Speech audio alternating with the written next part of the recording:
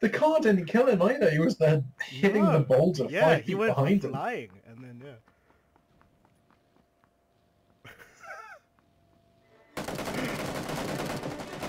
oh my god, this, the view of this is hilarious.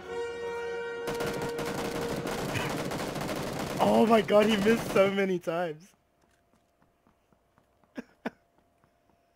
like he was spraying all around me, man.